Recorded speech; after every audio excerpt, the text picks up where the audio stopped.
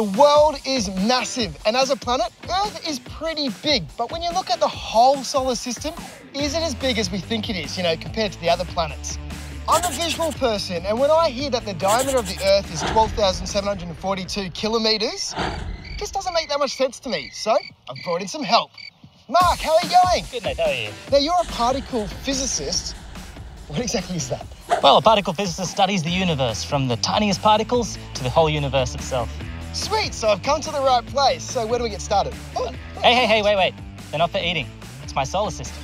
Mark, I didn't think I was the expert here. Didn't anyone tell you that you can't eat the planets in the solar system? Well, Nate, you wanted to see how the size of the Earth compared to the other planets, right? So what I've done is I've scaled everything down to things I had at home so we can see how the planets relate to each other in size. I like the way you think, you know, delicious food, planets, eating. So the solar system is huge. So huge, in fact, that it's really hard to understand its scale with everyday objects. Like, for instance, it, say the sun was a five cent coin on the try line of a footy field, the Earth would be a grain of sand about two meters away. Jupiter would be 10 meters away and smaller than a peppercorn, and Pluto would be right down the other end and almost impossible to see. Poor lo- lonely little Pluto. Right, so to make our solar system have the planets the right size and the right distance apart and still be able to see them, we need a heap of room. What? Even more room than this field? Even with this much room, we'd still probably need to get into a car and drive to the next suburb to see how far away the planets are. So the best we can do is actually look at two separate aspects of the solar system. The first is how big the planets are relative to each other, and the second is how far apart they are relative to the sun. Okay, but I think I need you to break it down for me. No worries, Nate, that's what I'm here for. Why don't we get our fruit and vegetables and make ourselves a solar system? Perfect. And a smoothie later. Sure. All right, so let's start with putting the planets in order from the sun. So what? The sun doesn't revolve around Earth. so it's the clues in the name, solar, as in sun. And uh, believe it or not, you know, we can be pretty selfish, but the sun doesn't revolve around us. Everything actually revolves around the sun. So the sun is huge. I don't mean just a little bit bigger than the Earth, but you could actually fit over a million Earths inside the sun. Do we have anything big enough to show that? No, unfortunately. Keeping in mind that we're not to scale, we're going to use this bunch of lemons here to represent our sun in our food-themed solar system. Sweet, sounds good to me. So let's start with the first planet from the sun, which is Mercury. And we're going to represent it with the pea. Oh, we could call it Mercury P, get it? Because it's a pea, so where do I put that? That's terrible. Put it right next to the sun there. It's a bit warm there, buddy. So our next planet out is Venus, and we're going to represent that with the grape Great. So that's this one here. So that goes around here. next to Mercury. Yep. So our home planet Earth is represented by a cherry tomato here in our solar system, and the moon is about the same size as a corn kernel. So up next is Mars, and we're representing that with a blueberry. Oh, it's an alien. Now up next is Jupiter, which is pretty big, so we're going to represent it with a watermelon. Oh, get that one in there. Watch out, other planets. You want that to roll on you? So after that, still pretty big is Saturn. Here we have a pumpkin for that. Then next up is Uranus, which is going to be represented with a grapefruit. And then we have an orange to represent Neptune. And now, even though we don't consider it a planet anymore, we'll include Pluto, and it's about the size of a peppercorn. Oh, what? They don't include it anymore? Not anymore. Why not? They're, they're Uh, it's too now. small. It's too small. Yeah. Oh, poor Pluto. So small. I know. It's actually the same size as the distance from Sydney to Cairns, so pretty small. Wow, so that's our solar system. Yeah, so that's our solar system when everything is scaled down. But we still have part two of our solar system recreation to do, which is where we look at the distances of the planets for the sun. But this time, the planets won't be to scale. Sweet. That's coming up later on Get Clever.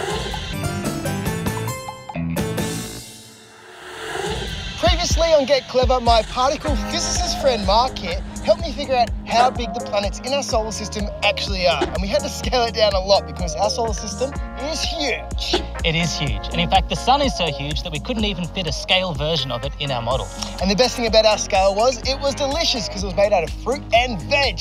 Now that I've got my head around how big the planets are, I want to figure out how far they are from the sun away. Yeah, great. So the planets and the sun are millions of kilometers apart from each other. And we have an oval here that's of just over 100 meters. So we need to scale everything down so it can fit in this area and we can see how far apart they are relative to each other. This is going to take some serious scaling. We might need to ask a few extra hands for help. Good idea, but how are we going to do this? Your planet. Planet. Oh, plan, and then the it, planet. Okay, I get it. Yeah, that's a good joke. Yeah, so I brought in Faye and Jackie to help us out with making them. What's up, girls? Hi! Sounds good. So Faye and I are going to make some models of each planet. So do we need to make the planets as realistic as possible? Yeah, please. Okay. You and I are going to get our measuring tapes and start measuring out these distances. Sweet measuring tapes. And Faye and Jackie, what's your plan? I've been doing some research into all of the planets, and I'm thinking that if I put some information together on what they look like and why, then you can show us how to make them. Okay, so we have quite a few planets to make, right? Eight to be exact. All right. Well, we definitely have our work cut out for us, but I have a few little helpers. Let's go, team! All right, Nate, so up until now, we've looked at the difference in sizes of the planets, but now we need to look at the other part of our solar system and work out how far the planets are away from the sun. Now we've got all this space. Do you reckon we can fit it in within 100 metres? Yeah, definitely. We'll just need to crunch the numbers. Okay, so starting with Mercury, how far away from the sun is it? Well, Mercury is the closest planet to the sun, and that's still almost 58 million kilometres away. So that's like driving around Australia almost 4,000 times. It'll take a lifetime to get there. So you're going to need a lot of petrol and a heap of card games for that trip. That's right, but on our solar system, we've scaled everything down. So Mercury will be about one metre on our scale. So the planets also orbit around the sun, so we also need to measure that distance around the sun in a circle where the orbit will take place. So a whole lot of circles. Now, because we've only got this football field to fit in the whole solar system for our scale, one metre is going to be equal to 57,900,000 kilometres? That's right. Okay, guys, we're ready for Mercury! Have you heard the term supernova? No, it's not a kind of superhero. It's actually a massive stellar explosion caused by the death of a star. Like all living things, stars have a life cycle and have a lifetime before dying. A star has to be really big to go supernova, at least eight times bigger than our own sun. Big stars only shine for a few million years, whereas our sun has lasted billions of years. That's a lot of birthdays.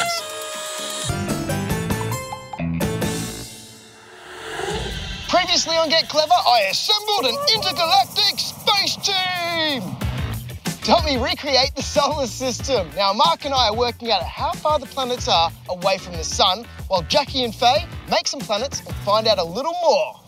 So, we're going to start with Mercury, which is the closest planet to the Sun. It's actually really, really hot on Mercury. Imagine a hot summer's day and times that by 100 because it's 400 degrees Celsius. Well, that's pretty warm, and Mercury looks like our moon, so I'm going to use this polystyrene ball, punch in a few craters, and paint it grey with little bits of white. So, next up is Venus, and that's the second planet from the Sun. And it's even hotter than Mercury because it can get up to 470 degrees Celsius. Astronomers say that it's a pale yellow colour. So I'll make Venus by painting this pale yellow, and as you can see, it's a little bit bigger than Mercury. Okay, we've got our first planet. Who's next? Next is uh, Venus, which is 108,160,000 kilometres away from the sun. But on our scale, that's two metres. Okay, two metres. So, I'll, of course, I'll measure that out again. Oh, okay, I know the next one. It's Earth. That's So right, yeah. How far away from the sun is that? Earth is 149,600,000 kilometres from the sun, or on our scale, about three metres. So that's one metre from Venus. That's right. I'm gonna need some help. Kira, can you hold this for me? Yeah. Okay, I need you to hold that on Venus there.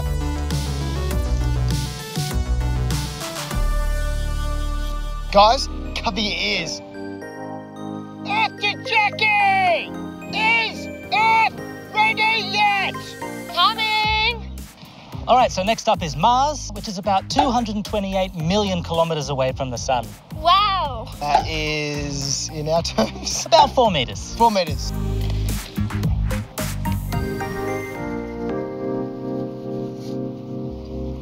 So, a planet that we're all familiar with, which is Earth, and like Mercury and Venus, is a rocky planet.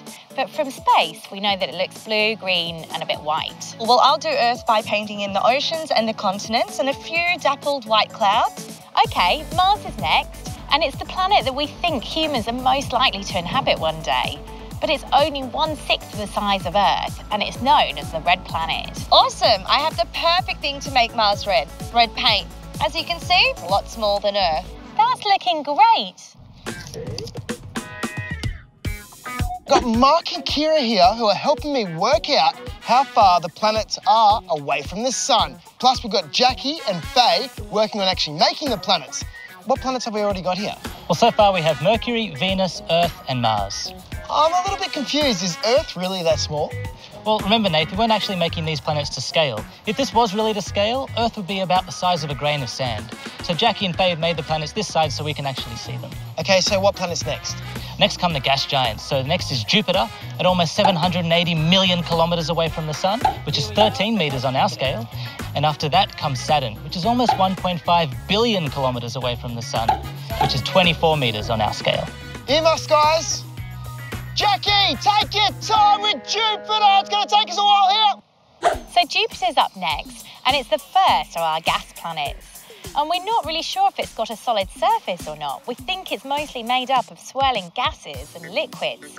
This one might be tricky to make though, Jackie, but it's pretty with orange and white bands. Well, Faye, I love a challenge, but I've already done a bit of prep on Jupiter. I've got an exercise ball and I've sprayed some orange bands on, but to make it look really gassy, I'm going to use some cushion stuffing and glue it on like clouds. Next up is a planet that we all recognise because of its rings. Can anybody guess? Saturn. Yes, it's Saturn. Now, it's also a gas planet, and we think it's a goldy colour with the biggest rings in the solar system. Whoa. And it also has 53 moons. Well, I've got some good ideas for that. I've spray painted a basketball in gold and yellow. And for the rings, I've spray painted a hula hoop silver. Cool.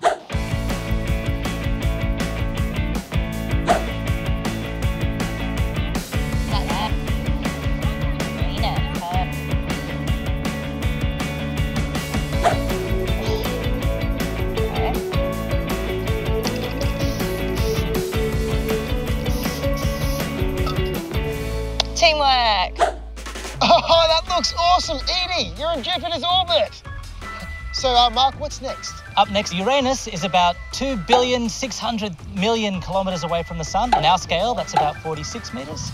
And Neptune is about 4 billion 500 million kilometers away from the sun, which on our scale is 49 meters. There's Neptune. Up next is the planet that always cops a lot of jokes. Uranus! Let's get to the bottom of it. Okay, I'm not even going to go there with the jokes. Tell me about Uranus. Well, it's a giant ice planet, and it's actually got 27 moons, and it's a pale blue colour. Awesome. Well, I have spray painted a bouncy ball, still drying, in pale blue and a few green stripes because it kind of looks green from far away too. Okay, so we've done one, two, three, four, five, six, seven planets. There's got to be one more, right? Yep, and then our solar system is complete. Yay! All right, what is it? Neptune, another ice planet, and it's nine times the size of Earth, and it's also blue. Great. Well, I'm just going to paint this polystyrene ball a nice deep blue colour. Awesome! Now our solar system's complete, and it's looking pretty good to me. Okay, so now they're done, let's let them dry, and then we can take them over to Mark and Nathan. Only about 5% of the universe is made up of things that we can see, like planets and stars. So, what's the rest of the black stuff? It's called dark energy and dark matter. Dark matter is an invisible substance. We're not really sure what it's made up of, but we know it's there. Dark energy makes up the rest of the universe. This energy works in opposition to gravity and causes the universe to speed up its expansion. Again, we don't really know what it's made up of, but we can study the effects of it. Hi, I'm Mercury, the planet closest to the Sun. I'm a little under half as big as the Earth, and I'm the smallest planet in the solar system. I have no moons and no rings. Mercury is named after the messenger of the Roman gods, because I'm super fast. I'm Venus, and I'm the second planet from the Sun. I'm next to Earth and about the same size. I have no moons and no rings. It's thought by some that Venus was Earth's twin. Billions of years ago, I had oceans too. But I got too hot and it all boiled away. Hi, I'm Earth. I have vast blue oceans, green, yellow, white, and brown lands. I'm the third planet from the Sun and I have one moon. I have millions of different kinds of life, from animals to plants to humans. I'm not too hot and I'm not too cold. I'm your home. I'm Mars. I'm the fourth planet from the Sun and about half the size of Earth. I'm also called the red planet because I'm covered in red soil. I have two moons, and one day humans might live on me. Hi, I'm Jupiter, and I'm the biggest planet in the solar system. And when I mean big, I mean huge. I was named after the King of Gold in old Roman stories. I am one of the brightest stars in Earth's sky. More than 1,300 Earths can fit inside me, and I have 60 moons. Boom! Hi, I'm Saturn, the pretty one with amazing rings spinning around my planet. I'm the second biggest planet and the sixth planet from the Sun. I have at least 53 moons and possibly more. I'm made up mostly of gas and I don't have a solid surface. Hi, I'm Uranus. I'm the seventh planet and also called the ice planet. I got 27 moons and I got 13 no rings. I was named of the Greek god of the sky. I'm an amazing blue color. I was mostly made of ice. Hi, I'm Neptune. I'm the eighth and last planet in the solar system. No! I'm so far away from Earth, I can't be seen without a telescope. I'm blue, I have six rings and 39 moons. I'm named after the Roman god of the sea. Great job, Kira. You're Jupiter. Go stand in line.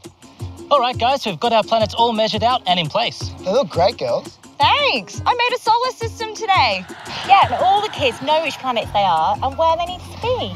I think it's time to see the planets orbit around the sun. Before we do that, do they all orbit at the same speed? Not quite, Nath. All the planets orbit at different speeds. Mercury orbits the fastest and also spins on its spot. Venus is the second fastest orbiting planet. Weirdly, it spins the opposite direction on its axis. And another weird one is Uranus, which is actually tilted on its side and almost rolls along its orbit. And Neptune is the slowest orbiting planet. And can you see the pattern here? The closer you are to the sun, the faster you orbit. Yeah. I'm going to go in the middle and be the sun. Good idea. I'm going to go and get my drone, set it up so we can get a really cool high shot. And it looks like Neptune's got a pretty far way to run. I think I might run for her. And, I, and I'll run for Uranus. Oh, come on, guys, let's go. It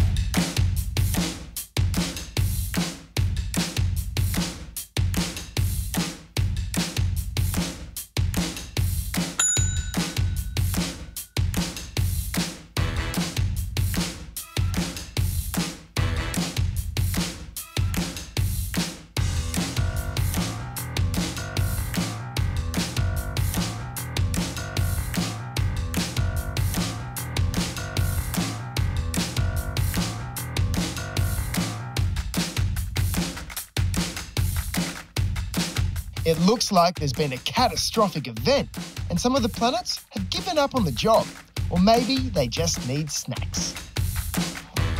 Ah. Well, we didn't really have the longest orbits. Yeah, but how cool is it? We've got our very own solar system. It's Pretty cool. Great job, everyone. I think we should just chill here on the edge of the solar system Good plan. while you guys keep on running. Good work. Hey, Earth, you know, kick it up a notch. As you can see, the planets are extremely far away from each other, and stars even further away. And with all that space in between them, do stars and planets ever run into each other? It's extremely rare. The gravitational pull of the star at the centre of our solar system usually keeps them apart, but it does happen. In 2017, astronomers detected the crash of two neutron stars into each other. The extreme energy of this explosion created new elements like gold and silver. Now that's my kind of bleed.